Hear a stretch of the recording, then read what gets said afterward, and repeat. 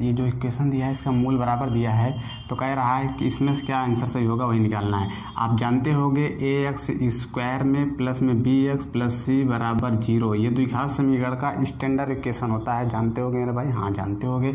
आप ये भी जानते होगे बी स्क्वायर माइनस में फोर ए सी ये विभिक्त कर होता है। क्या होता है? विभिक्त कर होता है। अगर मूल बराबर हो तो आ जाता है बी स्क्वायर बराबर चार ए सी बी का मान ये पूरा होगा। हाँ होगा।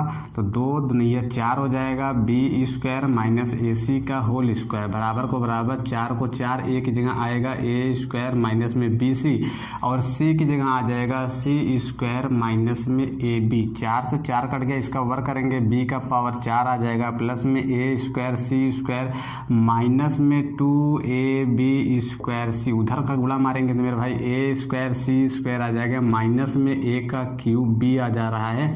और जब इसका गुणा मारेंगे तो माइनस में बी सी का क्यूब आ जाएगा, प्लस में ए बी स्क्वायर सी ये आ जाता है मेरे भाई। अब क्या करते थे? हल वल कर लेते हैं। अब देखो ए सी का स्क्वायर इधर है ए सी का स्क्वायर कट गए बी हर जगह है। तो बी का लेकर काट देंगे तो यहाँ पर बचेगा बी का क्यूब और माइनस में टू ए बी सी इधर बचेगा।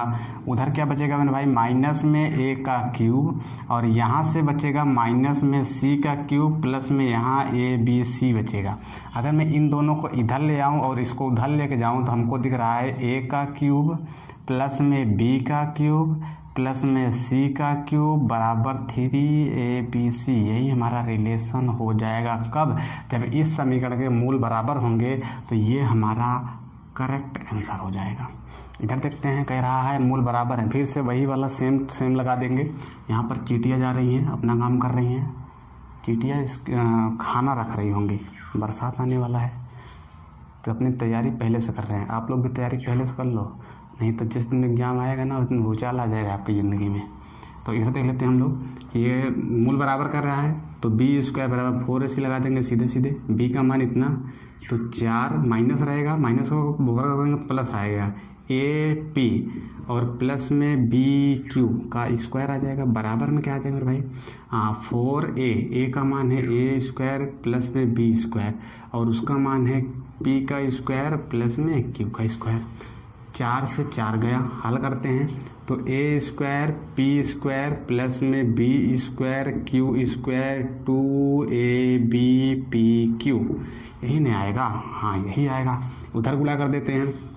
A square, P square plus में ए स्क्वायर, क्यू का स्क्वायर और प्लस में मेरे भाई बी का स्क्वायर, पी का स्क्वायर प्लस में बी का स्क्वायर, क्यू का square. A square, P square इधर दिख रहा है, बी स्क्वायर, क्यू स्क्वायर इधर दिख रहा है, कट गए तो इधर से हमको कुछ कामन दिख रहा है? कुछ ना कामन दिख रहा है भाई साहब।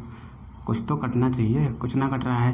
तो हम लोग इधर लिख देते हैं two A B P Q, उधर क्या लिख देते हैं? A square Q square plus में बी स्क्वायर पी स्क्वायर।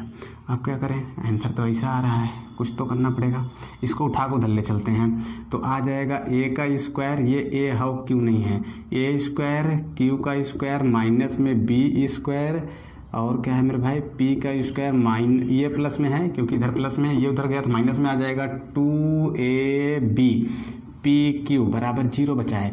ये अगर गौर से देखोगे तो ये लिखा है ए क्यू माइनस में। बी पी का होल स्क्वायर बराबर ज़ीरो तो यहाँ से आ जाएगा मेरे भाई, इधर हल कर देते हैं यहाँ पर इतनी जगह में। तो यहाँ से आ जाएगा ए क्यू बराबर बी पी अगर मैं ए को यहाँ रखूँ, इसके नीचे बी को लाता हूँ तो पी ऊपर रह जाएगा क्यू नीचे चला जाएगा। ये रिलेशन आ जाएगा मेरे भाई।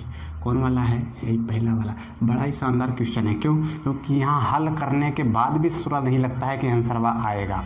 तो हल करने के बाद ऐसे आएगा इसका आंसर